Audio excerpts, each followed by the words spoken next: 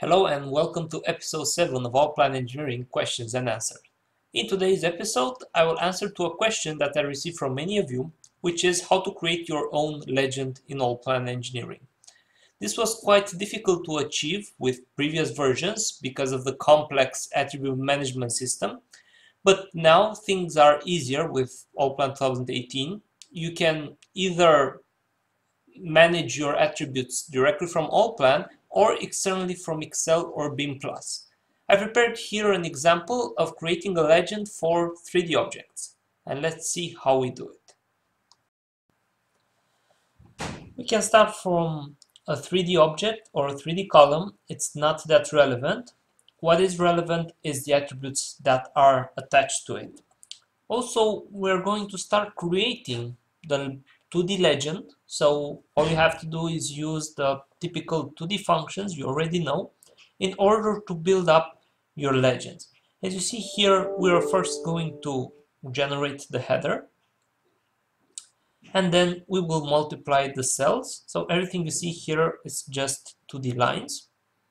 We'll copy and we will add a secondary row for the subtotals. And we go into label module and we will add some static text. So the first row usually is the name of the legend you are creating. I would say generically header. And then for each position, we will say the static text that describes the column content. So here where I'm placing column 1, column 2, is where you will place some static text that will be present all the time and will actually be part of the header.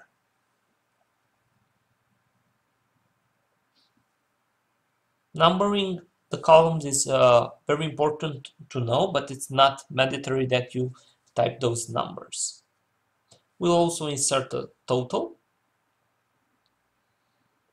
And now we are going to add attributes that correspond to the name of the header.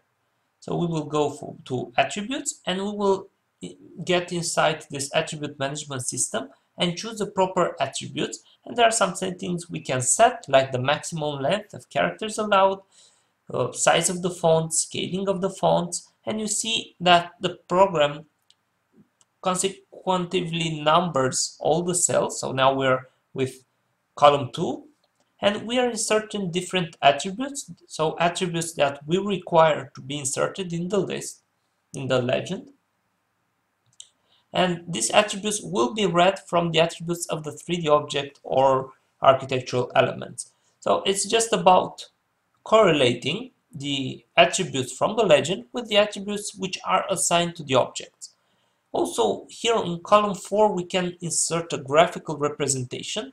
The software will scale it according to the size we impose and then we're going to add a filter.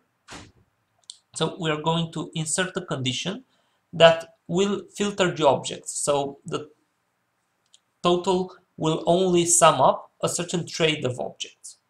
Now it's time to save the legend. First we're going to click on the header and select from right to left the header.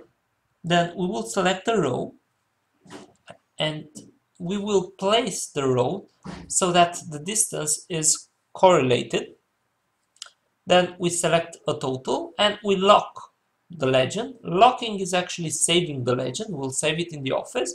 We choose a certain folder and then a position inside that folder. And that's pretty much it. If we want to check with the legend, we will find it in legend. We select office and we place here the legend. So if we add more objects that are within the filter criteria, which is the trade, it will just populate our list and it's associative to the drawing. I hope you enjoyed this episode and you'll now have a basic idea on how to create your own legends.